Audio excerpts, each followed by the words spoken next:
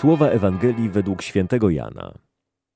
Pierwszego dnia po szabacie Maria Magdalena pobiegła i przybyła do Szymona Piotra i do drugiego ucznia, którego Jezus kochał, i rzekła do nich: Zabrano pana z grobu i nie wiemy, gdzie go położono. Wyszedł więc Piotr i ów drugi uczeń i szli do grobu. Biegli oni obydwaj razem, lecz ów drugi uczeń wyprzedził Piotra i przybył pierwszy do grobu. A kiedy się nachylił, zobaczył leżące płótna, jednakże nie wszedł do środka. Nadszedł potem także Szymon Piotr, idący za nim. Wszedł on do wnętrza grobu i ujrzał leżące płótna oraz chustę, która była na jego głowie, leżącą nie razem z płótnami, ale oddzielnie zwiniętą na jednym miejscu. Wtedy wszedł do wnętrza także i ów drugi uczeń, który przybył pierwszy do grobu. Ujrzał i uwierzył.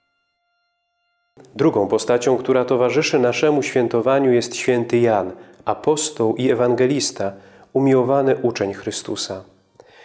Te trzy następujące po sobie dni, 25, 26 i 27 grudnia, stanowią niejako tryptyk.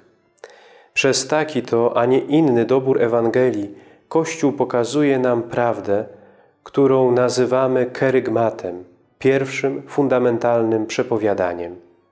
Jezus jest prawdziwym Bogiem, który wcielił się, przyjmując ciało z niepokalanej dziewicy i stał się człowiekiem, jednym z nas. Przyszedł w tym jednym celu, aby nas zbawić i uczynić z nas dzieci Boże. Tego dzieła zbawienia dokonał Jezus przez swoją męczeńską śmierć na krzyżu, o czym przypominała nam liturgia dnia wczorajszego, a zmartwychwstając przywrócił nam życie wieczne. O tej prawdzie przypomina z kolei dzisiejsze święto. Jan apostoł nie umarł jako męczennik, ale tak jak inni święci doświadczył już swojego zmartwychwstania do życia wiecznego. Zmartwychwstał, bo to obiecał nam wszystkim Jezus. Zmartwychwstał, ponieważ ukochał swego Pana, a miłość ta stała się dla Niego lampą przewodnią w życiu. Patrząc na nasze bożonarodzeniowe szopki, pamiętajmy, że ten Jezus leżący w żłóbku przyszedł na świat, aby za nas umrzeć i zmartwychwstać.